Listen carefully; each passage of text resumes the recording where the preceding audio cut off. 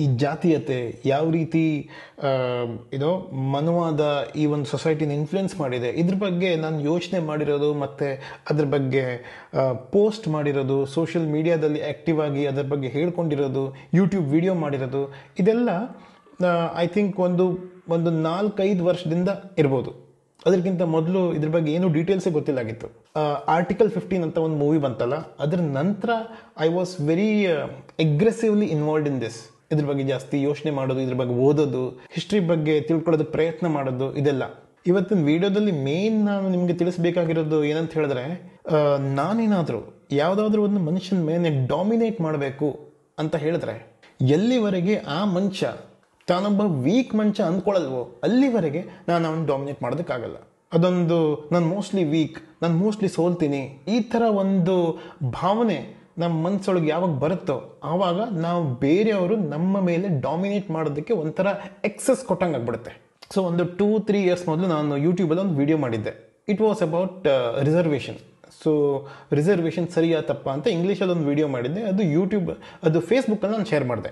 So ಅದನ್ನು share ಮಾಡಿದಾಗ ಕೆಲವರು ಮೆಸೇಜ್ ಮಾಡಿದ್ರು. ಸೊ ಅದರ ಮೆಸೇಜ್ ಮಾಡಿದವರಲ್ಲಿ ಎಸ್ ಸಿ ಎಸ್ ಟಿ ಅವರೇ ಸ್ವಲ್ಪ ಜಾಸ್ತಿ ಇದ್ದರು ಸೊ ಥ್ಯಾಂಕ್ಸ್ ಇಷ್ಟೊಂದು ಅರ್ಥ ಮಾಡಿಕೊಂಡು ಈ ಥರ ನಮ್ಮ ಬಗ್ಗೆ ಏನೋ ವಿಡಿಯೋ ಮಾಡೋದಕ್ಕೆ ಥ್ಯಾಂಕ್ ಯು ಸೊ ಮಚ್ ಅಂತ. ಯಾಕಂದರೆ ಅದು ಆ ಒಂದು video primarily S C S T focused ಆಗೇ ಇತ್ತು. ಅವರಷ್ಟು ಜನ ಎಸ್ ಸಿ ಎಸ್ ಟಿಸ್ ಅಂತಲೂ ನನಗೆ ಗೊತ್ತಿರಲಿಲ್ಲ. ಅದರಲ್ಲಿ ನಾನು ಇಬ್ಬರಿಗೆ ಒಂದು ಪ್ರಶ್ನೆ ಕೇಳಿದೆ. ನೀನು ಫೇಸ್ಬುಕ್ಕಲ್ಲಿ ಲೈಕ್ ಮಾಡ್ಬೋದಾಗಿತ್ತಲ್ಲ? ಅಂದರೆ ಇಲ್ಲಿ ನನಗೆ ಮೆಸೇಜ್ ಮಾಡಿಬಿಟ್ಟು ಹೇಳೋ ಅವಶ್ಯಕತೆ ಏನು ಅಂದರೆ ಏನೋ ಒಂದು ಕಾರಣ ಇದೆಯಾ ಫೇಸ್ಬುಕ್ಕಲ್ಲಿ ನೀನು ಲೈಕ್ ಮಾಡದೇ ಇರೋದಕ್ಕೆ ಅಂತ? ಸೊ ನನಗೆ ಗೊತ್ತಾಗಿರೋದೇನಂತ ಹೇಳಿದ್ರೆ, ಆ ಮಂಚ ಹೇಳಿರೋದು, ನಾನು ಎಸ್ ಸಿ ಎಸ್ ಟಿ ಅಂತ ಎಲ್ಲರಿಗೂ ಗೊತ್ತಿಲ್ಲ. ಅದು ಹೇಳ್ಕೊಳ್ಳೋದಕ್ಕೆ ನನಗೆ ಮುಜುಗರ ಆಗುತ್ತೆ. ನನ್ನ ಫ್ರೆಂಡ್ಸ್ ಎಷ್ಟೋ ಒಂದು ಬೇರೆ ಬೇರೆ ಕಾಸ್ಟ್ ಅವ್ರು ಇದ್ದಾರೆ ನಾನೇನಾದರೂ ನಿನ್ನ ವಿಡಿಯೋ ಲೈಕ್ ಮಾಡಿಬಿಟ್ರೆ ಏನಾದರೂ ಡೌಟ್ ಬಂದುಬಿಡ್ಬೋದಾ? ನನ್ನನ್ನು ಏನೋ ಬೇರೆ ಥರ ನೋಡೋದಕ್ಕೆ ಸ್ಟಾರ್ಟ್ ಮಾಡ್ಬೋದಾ? ನಾನು ಇನ್ಫೀರಿಯರಿಟಿ ಕಾಂಪ್ಲೆಕ್ಸ್ ಬಗ್ಗೆ ಸ್ಟ್ರೆಸ್ ಮಾಡ್ಕೊಂಡು ಆಲ್ರೆಡಿ ಒಂದು ವಿಡಿಯೋ ಮಾಡಿದ್ದೀನಿ ಈ ಎಂಟೈರ್ ಮನುವಾದ ಇನ್ಫ್ಲೂಯೆನ್ಸ್ಡ್ ಸಿಸ್ಟಮ್ ಇದೆಯಲ್ಲ? ಇದರ ಸಕ್ಸಸ್ ಏನಂತ ಹೇಳಿದ್ರೆ, ಈ ಥರ ಜನರ ಒಳಗಡೆ ಇನ್ಫೀರಿಯಾರಿಟಿ ಕಾಂಪ್ಲೆಕ್ಸ್ ಅನ್ನ ಇನ್ಕಾರ್ಪೊರೇಟ್ ಮಾಡೋದಕ್ಕೆ ಸಕ್ಸಸ್ ಆಗ್ಬಿಟ್ಟಿದ್ದಾರೆ. ಸೊ ಇವತ್ತಿನ ವಿಡಿಯೋ ಟಾಪಿಕ್ ಏನಂತ ಹೇಳಿದ್ರೆ, ಈ ಮನುವಾದದ ಸಿಸ್ಟಮ್ನಲ್ಲಿ ಲೋವರ್ ಕಾಸ್ಟ್ ಜನರಿಗೆ ಎಸ್ಪೆಷಲಿ ದಲಿತರನ್ನ ಯಾವ ರೀತಿ ಸಪ್ರೆಸ್ ಮಾಡೋದಲ್ಲಿ ಸಕ್ಸಸ್ ಆಗಿದ್ದಾರೆ. ಮತ್ತೆ ದಲಿತರು ಅದು ಏನು ತಪ್ಪು ಮಾಡ್ಕೊಂಡ್ಬಿಟ್ರು, ಆ ತಪ್ಪನ್ನ ನಾವು ಹೇಗೆ ಸರಿಪಡಿಸ್ಬೋದು? ಇಟ್ಸ್ ಅಬೌಟ್ ದಟ್ ಇನ್ನೊಂದು ವಿಷಯ ಅಂತ ಹೇಳಿದ್ರೆ ದಿಸ್ ಇಸ್ ಎನಿವೇಸ್ ಕಾಂಟ್ರವರ್ಷಿಯಲ್ ನಾನು ಹೇಳ್ತಾ ಇರೋದು ಕೆಲವ್ರಿಗೆ ಸರಿ ಅನ್ಸುತ್ತೆ, ಕೆಲವ್ರು ತಪ್ಪಂದೇ ಅನ್ಸುತ್ತೆ. ಇಟ್ಸ್ ಎ ಕಾಂಟ್ರವರ್ಷಿಯಲ್ ಟಾಪಿಕ್ ಕೆಲವ್ರಿಗೆ ಹರ್ಟ್ ಆಗಿ ಆಗುತ್ತೆ. ಕೆಲವರು ಈ ವಿಷಯ ನಾನು ಹೇಳಿರೋ ವಿಷಯನ ಅಕ್ಸೆಪ್ಟ್ ಮಾಡ್ಕೊಡೋದಕ್ಕೆ ರೆಡಿನೇ ಇರಲ್ಲ. ರೆಡಿ ಆಗಬೇಕಂತನೂ ಇಲ್ಲ. ಇದು ನಂದೊಂದು ಒಪಿನಿಯನ್ ಕರ್ಮ, ಈ ಒಂದು ವರ್ಡ್ ಕೇಳಿದಿರ ಎಷ್ಟೋ ಜನ ಅದನ್ನು ಯೂಸ್ ಮಾಡ್ತಾರೆ. ನಾವೇ ನಮ್ಮ ಡೇ ಟು ಡೇ ಲೈಫಲ್ಲಿ ಅವನಿಗೇನೋ ಆಯ್ತಂತೆ ಅದು ಅವನ ಕರ್ಮ. ಈ ಥರ ಮಾತಾಡ್ತೀವಿ. ಈ ಥರ ಕ್ಯಾಶುವಲ್ ಮಾತಾಡೋದನ್ನು ಪರವಾಗಿಲ್ಲ. ಆದರೆ ಈ ಕರ್ಮ ಅನ್ನೋ ವರ್ಡನ್ನು ಯಾವ ರೀತಿ ಮನುವಾದಿಗಳು ದಲಿತರನ್ನ ಸಪ್ರೆಸ್ ಮಾಡೋದಕ್ಕೆ ಯೂಸ್ ಮಾಡ್ಕೊಂಡಿದ್ದಾರೆ, ಇದನ್ನು ಅರ್ಥ ಮಾಡ್ಕೊಳ್ಳೋದು ತುಂಬ ಇಂಪಾರ್ಟೆಂಟ್ ನಾನು ಮನುವಾದಿ ಅನ್ನೋ ಪದ ಯೂಸ್ ಮಾಡಿದಾಗ ಬ್ರಾಹ್ಮಣರೆಲ್ಲ ಮನುವಾದಿಗಳಂತಲ್ಲ. ಮನುವಾದದ ಒಂದು ಸಿದ್ಧಾಂತ ಯಾರು ಫಾಲೋ ಮಾಡ್ತಾರೋ ಅವ್ರು ಮಾತ್ರ ಮನುವಾದಿಗಳು. ಒಬ್ಬ ಬ್ರಾಹ್ಮಣ ನಾಸ್ತಿಕ ಆಗಿರ್ಬೋದು, ಒಬ್ಬ ಬ್ರಾಹ್ಮಣ ದಲಿತರ ಸಪೋರ್ಟ್ಗೆ ನಿಂತಿರ್ಬೋದು. ಜವಾಹರ್ಲಾಲ್ ನೆಹರು ಒಬ್ಬ ಬ್ರಾಹ್ಮಣ, ರಾಜಾ ರಾಮ್ ಮೋಹನ್ ರಾಯ್ ಒಬ್ಬ ಬ್ರಾಹ್ಮಣ. ಸೊ ಬ್ರಾಹ್ಮಣರು ಒಳ್ಳೊಳ್ಳೆ ಕೆಲಸ ಮಾಡಿದ್ದಾರೆ. ಸೊ ಆ ಥರ ಅಲ್ಲ. ಮನುವಾದದ ಸಿದ್ಧಾಂತವನ್ನು ಸಪೋರ್ಟ್ ಮಾಡುವವರು ಮನುವಾದ ಸಿದ್ಧಾಂತವನ್ನು ಫಾಲೋ ಮಾಡೋರು ಮಾತ್ರ. So we are talking about karma ಕರ್ಮದ ಒಂದು ಬೇಸಿಕ್ ನೋಷನ್ ಏನಂತ ಹೇಳಿದ್ರೆ ನಿಮ್ಮ ಜೊತೆ ಏನಾದರೂ ಒಂದು ಆದರೆ ಅದಕ್ಕೊಂದು ಕಾರಣ ಇರುತ್ತೆ ಅಂತ. ಅದ್ರ ಬಗ್ಗೆ ಒಂದು ಹೈ ಲೆವೆಲ್ ಆಗಿ ಯೋಚನೆ ಮಾಡಿದ್ರೆ, ಹ್ಞೂ, ಏನೋ ಒಂದು ಮಾಡಿದ್ರೆ ಏನೋ ಒಂದು ಆಗುತ್ತೆ ಅಂತ ನಾವು ಯೋಚನೆ ಮಾಡ್ಬೋದು. ಆದರೆ, ಇದನ್ನ ಯಾವ ರೀತಿ ಬಳಸ್ಕೊಂಡಿದ್ದಾರೆ ಈ ಒಂದು ಸಿಸ್ಟಮಲ್ಲಿ ಅಂತ. ಇವಾಗ ನಾರ್ಮಲ್ ಆಗಿ ಒಂದು ದೇವಸ್ಥಾನ ಇದೆ. ಆ ದೇವಸ್ಥಾನಕ್ಕೆ ನೀವು ಹೋಗೋದಕ್ಕೆ ಇಷ್ಟಪಡ್ತೀರಾ? ದೇವ್ರು ನೋಡೋದಕ್ಕೆ. ಅಲ್ಲಿ ನಿಮ್ಮನ್ನು ಬಿಡಲ್ಲ. ಯಾಕೆ ಬಿಡಲ್ಲ? ನೀನು ಈ ಜಾತಿಯವನು ನಿನಗೆ ಲೆಕ್ಸಸ್ ಇಲ್ಲ ಏನೋ ಒಂದಿನ ಇಗ್ನೋರ್ ಮಾಡ್ತೀರಾ? ಆಮೇಲೆ ನಿಮಗೆ ಸ್ಕೂಲ್ಗೆ ಹೋಗೋದಕ್ಕೆ ಬಿಡೋದಿಲ್ಲ. ಯಾಕಂದರೆ ನೀವು ಓದೇನೂ ಮಾಡಬೇಕಾಗಿಲ್ಲ, ಆ ಚರಂಡಿ ಕ್ಲೀನ್ ಮಾಡೋದು ಮಾತ್ರ ನಿಮ್ಮ ಕೆಲಸ ಅಂದ್ಬಿಟ್ಟು.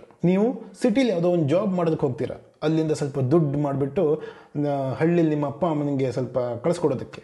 ಆದರೆ ನೀವು ಸಿಟಿಗೆ ಹೋಗಿ ದುಡ್ಡು ಮಾಡಿ, ನೀವು ನಿಮ್ಮ ಲೈಫ್ ಸ್ಟೈಲ್ ಏನಾದರೂ ಚೇಂಜ್ ಆಗಿಬಿಡುತ್ತೆ ಅಂತ ಭಯ ಪಟ್ಕೊಂಡ್ಬಿಟ್ಟು, ಹಳ್ಳಿಯಲ್ಲಿರೋ ನಿಮ್ಮ ಅಪ್ಪ ಅಮ್ಮಂಗೆ ಟಾರ್ಚರ್ ಕೊಡ್ತಾರೆ. ವಾಪಸ್ ನೀವು ಸಿಟಿನ ಬಿಟ್ಟು ನೀವು ಹಳ್ಳಿಗೆ ಬಂದು ಇದೇ ಲೈಫ್ ಸ್ಟೈಲ್ ಕಂಟಿನ್ಯೂ ಮಾಡಬೇಕು.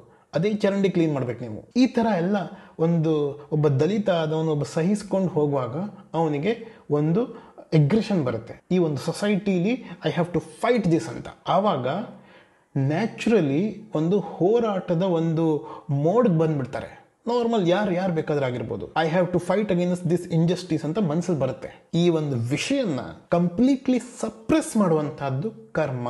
ಥಿಯರಿಟಿಕಲಿ ಇವ್ರ ಬುಕ್ಕಲ್ಲಿ ಸಾವಿರ ಬರೀತಾರೆ. ಆದರೆ ಇನ್ಕೋಆಪರೇಟ್ ಮಾಡೋದ್ರಲ್ಲಿ ಮಾತ್ರ ತುಂಬ ತಲೆ ಉಪಯೋಗಿಸ್ತಾರೆ. ಆ ಟೈಮಲ್ಲಿ ಇವರು ಸೃಷ್ಟಿ ಮಾಡಿರುವಂಥ ಸಿಚುವೇಶನ್ ಹೆಂಗಿದೆ ಅಂತ ಹೇಳಿದ್ರೆ, ನೀನು ದಲಿತ ಆಗಿರೋದು ಅದು ನಿನ್ನ ಕರ್ಮ. ಮೋಸ್ಟ್ಲಿ ನೀನು ನಿನ್ನ ಪ್ರೀವಿಯಸ್ ಲೈಫಲ್ಲಿ ನಿನ್ನ ಪ್ರೀವಿಯಸ್ ಜನ್ಮದಲ್ಲಿ ಏನೋ ಕಚಡ ಕೆಲಸ ಮಾಡಿರ್ತೀಯ.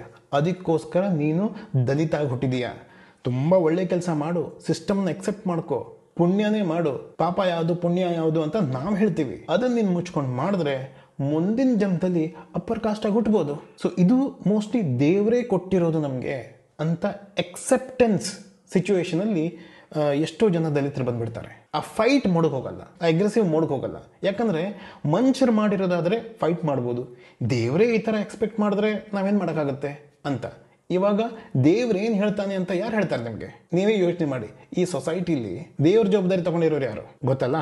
ಸೊ ಅವರೇ ಈ ಥರ ಮೆಸೇಜ್ ಕೊಡೋದು. ಪ್ರೀವಿಯಸ್ ಜನ್ಮ ನೆಕ್ಸ್ಟ್ ಜನ್ಮ ಅನ್ನೋ ಕಾನ್ಸೆಪ್ಟ್ ಅವರೇ ತಂದಿರೋದು. ಯಾಕಂತ ಹೇಳಿದ್ರೆ, ಈ ನಮ್ಮ ಸೊಸೈಟಿಲಿ ಹುಚ್ಚು ಹುಚ್ಚು ಕಾನ್ಸೆಪ್ಟ್ ಇದೆ. ಅದನ್ನ ಎಕ್ಸ್ಪ್ಲೇನ್ ಮಾಡೋದಕ್ಕೂ ಆಗಲ್ಲ. ಆವಾಗ ಪ್ರೀವಿಯಸ್ ಜನ್ಮ ನೆಕ್ಸ್ಟ್ ಜನ್ಮದ ಕಾನ್ಸೆಪ್ಟ್ ತಗೊಂಡ್ ಬರ್ತಾರೆ. ಇಡೀ ಲೈಫ್ ದಲಿತರು ಒಂದು ಕೆಟ್ಟದಾಗಿರೋ ಲೈಫೇ ಬಾಳ್ಬಿಡ್ತಾರೆ. ಏನು ಯೋಚನೆ ಮಾಡಿಕೊಂಡು? ಮೋಸ್ಟ್ಲಿ ನೆಕ್ಸ್ಟ್ ಲೈಫ್ ನಾನು ಚೆನ್ನಾಗಿರ್ಬೋದು ಅಂತ. ದಿಸ್ ಈಸ್ ಒನ್ ವೇ ಸಿಸ್ಟಮ್ನೇ ಚೇಂಜ್ ಆಗದೇ ಇರೋ ಥರ ಮಾಡಿರೋ ಒನ್ ವೇ ಇದು. ಎರಡನೇದು ರೆಸ್ಪೆಕ್ಟ್ ಫಾರ್ ಎಲ್ಡರ್ಸ್ ಒಂದು ಹತ್ತು ವರ್ಷದವನು ಇರ್ಬೋದು, ಹದಿನೈದು ವರ್ಷದವನು ಇರ್ಬೋದು, ಎಷ್ಟೋ ಒಂದು ವಿಷಯದಲ್ಲಿ ನನಗಿಂತ ಚೆನ್ನಾಗಿರುವಂಥ ಕಾನ್ಸೆಪ್ಟ್ಸ್ ಅವನಿಗೆ ಗೊತ್ತಿರ್ಬೋದು, ವಿಷಯಗಳ ಅರ್ಥಕೊಂಡಿರ್ಬೋದು ಅವನು. ಇಲ್ಲ, ಕೆಲವು ಟೆರರಿಸ್ಟ್ ಇದ್ದಾರೆ ಅವ್ರು ನನಗಿಂತ ಎಲ್ಡರ್ಸ್ ನಾವು ಯಾರಿಗೆ ರೆಸ್ಪೆಕ್ಟ್ ಮಾಡಬೇಕು, ಅದು ಎಲ್ಡರ್ ಮತ್ತು ಯಂಗರ್ಗೆ ಸಂಬಂಧ ಇರಲ್ಲ, ಇರಬಾರ್ದು. ಒಬ್ಬನ ನಾಲೆಜು ಅವನು ಯೋಚನೆ ಮಾಡುವಂಥ ರೀತಿ ಅವನು ಅಥವಾ ಅವಳು ನಿಮ್ಮ ಜೊತೆ ಇಟ್ಕೊಳ್ಳುವಂಥ ರಿಲೇಷನ್ಶಿಪ್ ಅದ್ರ ಮೇಲೆ ಇವ್ರಿಗೆ ರೆಸ್ಪೆಕ್ಟ್ ಕೊಡಬೇಕು, ಕೊಡಬಾರ್ದು ಅಂತ ನೀವು ಡಿಸೈಡ್ ಮಾಡ್ಬೋದು. ಈ ರೆಸ್ಪೆಕ್ಟ್ ಫಾರ್ ಎಲ್ಡರ್ಸ್ ಅನ್ನೋದು ಒಂದು ಅವಶ್ಯಕತೆಗಿಂತ ಜಾಸ್ತಿ ಎಳೆದ್ಬಿಟ್ಟು ಸೊಸೈಟಿಲಿ ಇನ್ಕಾರ್ಪರೇಟ್ ಮಾಡಿದ್ದಾರೆ. ಯಾಕಂದರೆ ಆ ಟೈಮಲ್ಲಿ ಈವನ್ ಇವತ್ತಿಗೂ ಕೆಲವು ಮಟ್ಟಿಗಿದೆ, ಆದರೆ ಎಜುಕೇಷನ್ ಮತ್ತು ವೆಸ್ಟರ್ನ್ ಎಜುಕೇಷನ್ ವೆಸ್ಟರ್ನ್ ಎಜುಕೇಷನ್ ಎಷ್ಟು ಹೆಲ್ಪ್ ಮಾಡಿದೆ ಅಂತ ಹೇಳಿದ್ರೆ ಈ ಒಂದು ಡೇಂಜರಸ್ ರೂಟ್ಸ್ನ ಕೆತ್ತಿ ಎಸೆದ್ಬಿಟ್ಟಿದೆ. ಅದಕ್ಕೆ ಮನುವಾದಿಗಳಿಗೆ ವೆಸ್ಟರ್ನ್ ಎಜುಕೇಷನ್ ವೆಸ್ಟ್ ಅಂದ್ರೇ ಆಗಲ್ಲ. ಅವ್ರು ಬೇಕಾದ್ರೆ ಅಲ್ಲಿ ಹೋಗ್ಬಿಟ್ಟು ಓದ್ತಾರೆ, ಅಲ್ಲೇ ಲೈಫ್ ಬಾಳ್ತಾರೆ. ಆದರೆ ಇಂಡಿಯಾದಲ್ಲಿ ವೆಸ್ಟರ್ನ್ ಇನ್ಫ್ಲುಯೆನ್ಸ್ ಇರಬಾರ್ದು ಅಂತ ಮೋಸ್ಟ್ ಆಫ್ ದೆಮ್ಗೆ ಆ ಥರ ಇರುತ್ತೆ. Western education has help us a lot ಇವಾಗ ನೀವು ಒಬ್ಬ ದಲಿತರ ಮಗ ಆಗಿದ್ರೆ, ನಿಮ್ಮ ತಂದೆ ಹೇಳುವಂಥ ಮಾತು ನೀವು ಕೇಳಲೇಬೇಕು ಅನ್ನೋ ಒಂದು ಸೊಸೈಟಿ ಕ್ರಿಯೇಟ್ ಮಾಡಿಬಿಟ್ರೆ, ತಂದೆ ಏನು ಫಾಲೋ ಮಾಡ್ತಾ ಇದ್ರು? ತಂದೆ, ನನ್ನ ಕರ್ಮನೇ ಇದು. ಇವರೆಲ್ಲ ನಮ್ಗಿಂತ ಮೇಲಿನ ಜಾತಿಯವರು. ಇವ್ರು ಹೇಳಿದಂಥ ಮಾತು ನಾವು ಕೇಳೋದೇ ಒಳ್ಳೆಯದು ನಮಗೆ ಬೇರೆ ವಿಧಿ ಇಲ್ಲ. ಈ ಒಂದು ಕಾನ್ಸೆಪ್ಟನ್ನು ನಂಬ್ಕೊಂಡಿರ್ತಾರೆ ತಂದೆ. ರಿಸ್ಪೆಕ್ಟ್ ಫಾರ್ ಎಲ್ಡರ್ಸ್ನ ಕಾನ್ಸೆಪ್ಟ್ ಇನ್ಕೋರ್ಪ್ರೇಟ್ ಆದ್ರಿಂದ ಅಪ್ಪ ಹೇಳ್ದಂಗೆ ಮಗ ಕೇಳಬೇಕು, ಮಗ ಹೇಳ್ದಂಗೆ ಅವನ ಮಗ ಕೇಳ್ತಾನೆ. ಸೊ ಈ ಒಂದು ಎಂಟೈರ್ ಜನರೇಷನ್ ಈ ಸಿಸ್ಟಮ್ನ ಎಕ್ಸೆಪ್ಟ್ ಮಾಡ್ಕೊಂಡ್ಬಿಟ್ಟಿದೆ. ಮಗ ಅಪ್ಪನ್ನ ಕ್ವೆಶನ್ ಮಾಡುವಂಗಿಲ್ಲ. ಇಲ್ಲ, ಅಪ್ಪ ನೀನು ಹೇಳ್ತಾ ಇರೋ ತಪ್ಪು. ನಾವು ಫೈಟ್ ಮಾಡಬೇಕು. ಎಲ್ಲರಿಗೂ ಒಂದೇ ಥರ ಅಧಿಕಾರ ಬರಬಾರ್ದ. ಅಂತ ಫೈಟ್ ಮಾಡಬೇಕಂತ ಕ್ವೆಶನ್ ಕೇಳುವಂಥ ಸಿಸ್ಟಮ್ ಇವತ್ತು ಕಂಪ್ಲೀಟ್ಲಿ ನಮ್ಮಲ್ಲಿ ಇಲ್ಲ. ಏನು, ಅಪ್ಪಂಗೆ ಕ್ವೆಶನ್ ಕೇಳ್ತೀಯ ನೀನು? ಅಂತ. ಕೇಳಬೇಕು.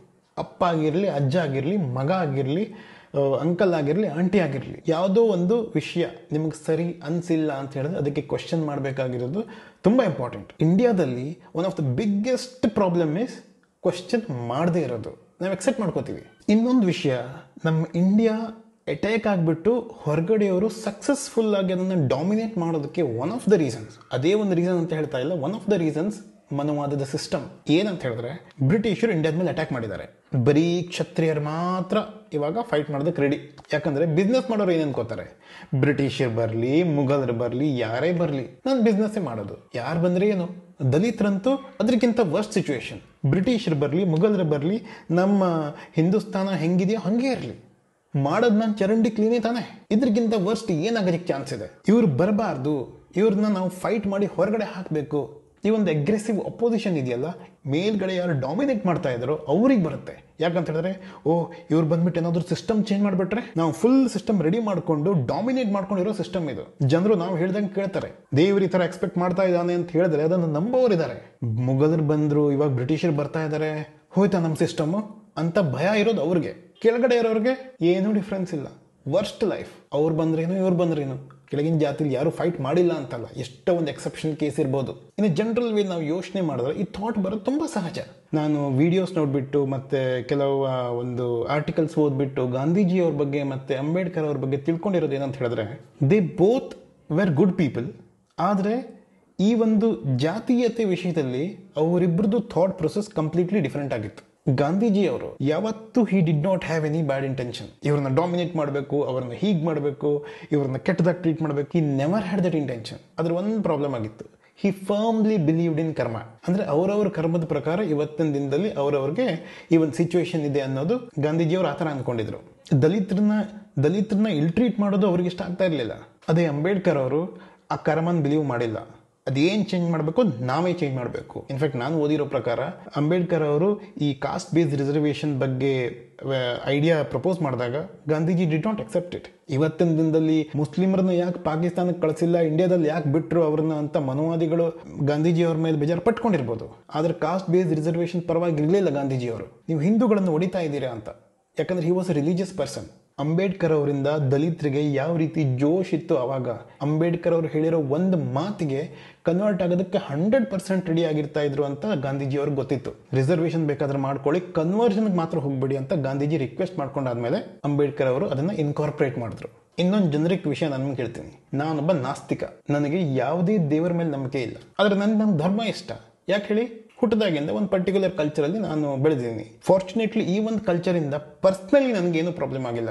ನಾನು ನಾಸ್ತಿಕ ಅಂತ ಹೇಳ್ಕೊಂಡು ಈ ಧರ್ಮದಲ್ಲಿ ಆರಾಮಾಗಿ ಬದುಕಬಹುದು ಬೇರೆಯವರು ಯಾರಾದರೂ ಫೋರ್ಸ್ ಮಾಡಿದ್ರೆ ಮಾತ್ರ ದೇವಸ್ಥಾನಕ್ಕೆ ಹೋಗ್ತೀನಿ, ಇಲ್ಲ ದೇವಸ್ಥಾನಕ್ಕೆ ಹೋಗಲ್ಲ. ಬೇಸಿಕಲಿ ಸೆಟ್ ಆಗಿಬಿಟ್ಟಿದ್ದೀನಿ ಇಲ್ಲಿ.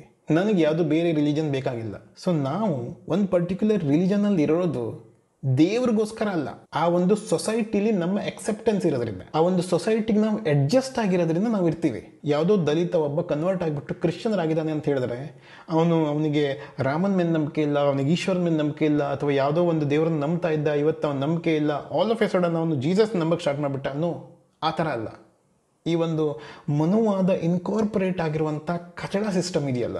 ಇದರಿಂದ ಫ್ರಸ್ಟ್ರೇಟ್ ಆಗಿಬಿಟ್ಟು ಇಲ್ಲಿ ನಮಗೆ ಮರ್ಯಾದೆ ಸಿಗಲ್ಲ, ಇಲ್ಲಿ ನಮಗೆ ಹೆಲ್ಪ್ ಸಿಗಲ್ಲ, ಯಾರು ನಮ್ಮನ್ನು ನೋಡ್ಕೊಳ್ಳಲ್ಲ ನನಗೆ ನಂದೇ ದೇವರು ಇಷ್ಟ ಇದ್ದರೂ ಕೂಡ ಬೇರೆ ವಿಧಿ ಇಲ್ಲದೆ ನನಗೊಂದು ಚೂರು ಪಾರು ಮರ್ಯಾದೆ ಸಿಗೋ ಜಾಗದಲ್ಲಿ ಹೋಗ್ತೀವಿ ಅಂತ. ಅಲ್ಲೂ ಅವ್ರಿಗೇನು ಫುಲ್ ಮರ್ಯಾದೆ ಸಿಗ್ತಾ ಇದೆ ಅಂತ ಅಲ್ಲ. ಆದರೆ ಇಲ್ಲಿ ಇರೋ ಟಾರ್ಚರ್ ಯಾವ ಲೆವೆಲ್ಗಿದೆ ಅಂತ ಹೇಳಿದ್ರೆ ಇದ್ರ ಬದಲು ಅಲ್ಲಿ ಹೋಗಿ ಉಸಿರಾಡ್ಕೊಂಡಿರೋದು ಒಳ್ಳೆಯದು ಅಂತ. ಅವ್ರು ಹೋದ್ಮೇಲೂ ಅವ್ರನ್ನ ಸುಮ್ಮನೆ ಬಿಡಲ್ಲ. ರೈಸ್ ಬ್ಯಾಗ್ಗೋಸ್ಕರ ಹೋಗಿದ್ದಾರೆ ಅದಕ್ಕೆ ಹೋಗಿದ್ದಾರೆ ಇದಕ್ಕೆ ಹೋಗಿದ್ದಾರೆ ಅಂತ ಮನುವಾದಿಗಳು ಟೀಕೆ ಮಾಡ್ತಾರೆ ಇನ್ಸಲ್ಟ್ ಮಾಡ್ತಾರೆ. ಯಾರು ಹೇಗೆ ಬದುಕಬೇಕು ಅಂತ ಆರ್ಡರ್ ಮಾಡೋದು ಅವ್ರಿಗೆ ಒಂಥರ ರೂಢಿ ಆಗಿಬಿಟ್ಟಿದೆ. ಸೊ ಐ ಥಿಂಕ್ ಇವತ್ತು one of the most important thing ಅಂತ ಹೇಳಿದ್ರೆ, ಈ ಒಂದು ರಿಚ್ ಆಗಿರೋ ದಲಿತರಿದ್ದಾರೆ, ಮತ್ತು ಎಜುಕೇಟೆಡ್ ಆಗಿರೋ ದಲಿತರಿದ್ದಾರೆ. ನಾನು ತುಂಬ ಜನರನ್ನ ನೋಡ್ತಾ ಇದ್ದೀನಿ, ಅವರು ನಾನೊಬ್ಬ ದಲಿತ ಅಂತ ಹೇಳ್ಕೊಡೋದಕ್ಕೆ ಮುಜುಗರ ಪಡ್ತಾ ಇದ್ದಾರೆ. ನಿಮಗೆ ಇನ್ಫಿರಿಟಿ ಕಾಂಪ್ಲೆಕ್ಸ್ ಇದ್ದರೆ ಡಾಮಿನೇಟ್ ಮಾಡೋರು ಮಾಡೇ ಮಾಡ್ತಾರೆ. ಹೌದು ನಾನೊಬ್ಬ ದಲಿತ ಅಂತ ಹೇಳ್ಕೊಳ್ಳಿ. ಹೌದು, ನಾನು ರಿಸರ್ವೇಶನ್ ತಗೋತಾ ಇದ್ದೀನಿ ಅಂತ ಹೇಳ್ಕೊಳ್ಳಿ. ಕೋರಾ ಡಾಟ್ ಕಾಮಲ್ಲಿ ಬೇರೆ ಬೇರೆ ಕಡೆಯಲ್ಲಿ ಸುಳ್ಳು ವಿಚಾರವನ್ನು ಬರೆದು ಹಬ್ಬಿಸ್ಕೊಂಡು ಅದನ್ನೇ ಸರಿ ಅಂತ ರೂಮರ್ ಸ್ಪ್ರೆಡ್ ಮಾಡ್ತಾ ಇದ್ದಾರೆ. ನೀವು ಈ ಥರ ಮುಜುಗರ ಪಟ್ಟರೆ ನಿಮ್ಮ ನೆಕ್ಸ್ಟ್ ಜನರೇಷನ್ ಇದೇ ರೀತಿ ಮುಜುಗರ ಪಟ್ಕೊಂಡೇ ಬೆಳೀತಾರೆ. ಈ ಒಂದು ಸ್ಟ್ರಗಲ್ ಅನ್ನ ಸಹಿಸ್ಕೊಂಡು ಬದುಕೊಂಡು ಬೆಳೆದಿದ್ದಾರಲ್ಲ it's a big deal be very proud of it ತಮ್ಮ ಎನ್ಸಿಸ್ಟರ್ಸ್ ಎಷ್ಟೊಂದು ಕಚಡ ಕೆಲಸ ಮಾಡಿದ್ರ ಅಂತ ಮುಜುಗರ ಪಟ್ಕೋಬೇಕಾಗಿರೋದು ಬೇರೆಯವರು. ನೀವಲ್ಲ. This is what I wanted to say thank you so much for watching this video perception ಅನ್ನೋ ಒಂದು ಟಾಪಿಕಲ್ಲಿ I am making a video hopefully I will come up with video very soon thank you so much